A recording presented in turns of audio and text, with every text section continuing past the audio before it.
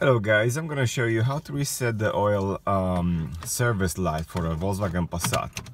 Put the key in, we can see that the service is due. I just changed the oil, I just have to reset the light now.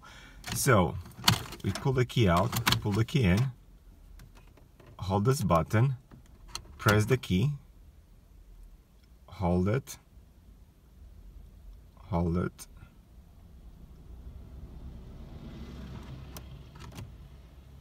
Now we press this button here for a few seconds. That's it.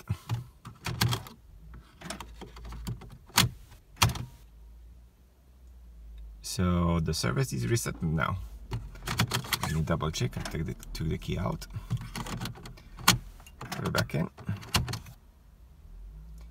And that's it. The service is reset. Let's double check. You can check the service by pressing this button here. Twice. Oh, okay, so we can see that the next service in it's in 9,400 miles. So just a quick review. Uh, this key has two stages.